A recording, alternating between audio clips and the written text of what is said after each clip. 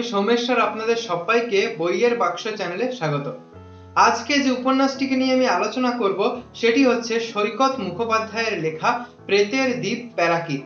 এই উপন্যাসটি প্রকাশিত হয়েছে শারদিয়া সুক্তারা চোদ্দশো আঠাশে। আপনি যদি আমার চ্যানেলে নতুন হয়ে থাকেন, আমি বাংলা বই সম্বন্ধে ভিডিও বানাই। তো চলুন, সময় নষ্ট না করে আজকের ভিডিওটা শুরু করা যাক।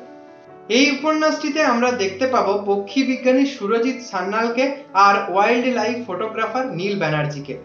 এই উপন্যাসটির কাহিনীটি আমরা নীল ব্যানার্জির জবানিতে জানতে পারব।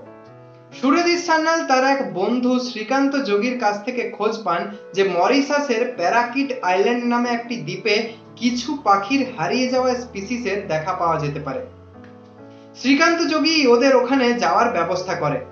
এরপর ওরা মরিসাসে যায় এবং ওখানে গিয়ে ওরা ওখানকার অনেক মানুষজনদের কাছ থেকে ওই দ্বীপটি সম্পর্কে অনেক রহস্যজনক ঘটনার কথা জানতে পারে।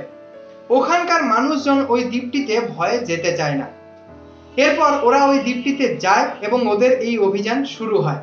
তো কোন রহস্য লুকিয়ে আছে ওই দ্বীপটিতে যার জন্য ওখানকার মানুষজন ওই নির্জন দ্বীপটিতে যেতে ভয় পায়? ওদের সঙ্গে ওখানে গিয়ে কি ঘটবে এসব প্রশ্নের উত্তর জানতে আপনাদেরকে এই উপন্যাসটা পড়ে দেখতে হবে। লেখকের লেখনী খুবই সুন্দর। এই উপন্যাসটির প্লটটিও চমৎকার। একদম ঝরঝরে গতিতে এগিয়েছে।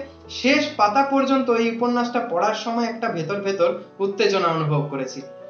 এই উপন্যাসটাতে অ্যাডভেঞ্চার, রহস্য, রোমাঞ্চ, কল্পবিজ্ঞান এই সব ধরনের স্বাদ রয়েছে। এই উপন্যাসটা পড়তে আমার খুবই ভালো লেগেছে। ছোটদেরকে আমি এই উপন্যাসটা পড়তে হাইলি রেকমেন্ড করব। বড়রাও যারা অ্যাডভেঞ্চার উপন্যাস পড়তে ভালোবাসেন, তারা এই উপন্যাসটা একবার পড়ে দেখতে পারেন। আমার আজকের ভিডিওটা এখান পর্যন্তই থাকল। ভিডিওটা ভালো লাগলে লাইক করুন কমেন্ট করে আমাকে জানান কেমন লাগল। আপনি যদি আমার চ্যানেলে নতুন হয়ে থাকেন, তাহলে চ্যানেলটি সাবস্ক্রাইব করে আমার চ্যানেলের সাথে যুক্ত হয়ে যান। দেখা হচ্ছে পরে কোনো ভিডিওতে। ততক্ষণের জন্য always keep a smile on your face take care bye